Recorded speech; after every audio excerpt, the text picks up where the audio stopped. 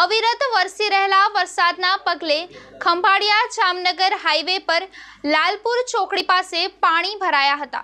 પાણી ભરાતા જામનગર તરફથી દ્વારકા જતા વાહન ચાલકો મુશ્કેલીમાં મુકાયા છે. પાણી ભરાવાને કારણે આસપાસના વિસ્તારોની દુકાનોમાં પાણી ઘૂસ્યા હતા. તંત્રની ઢીલી નીતિનો ભોગ બની રહી છે પ્રજા. છેલ્લા ચોવીસ કલાકમાં પાંચ ઇંચ જેટલો વરસાદ ખાબક્યો છે. વરસાદના પગલે ઠેક ઠેકાણે પાણી ભરાવાના દ્રશ્યો જોવા મળ્યા હતા. સ્ટોરી બાય ધર્મેન્દ્ર ઉપાધ્યાય, મા ન્યૂઝ લાઈવ, દ્વારિકા, ગુજરાત.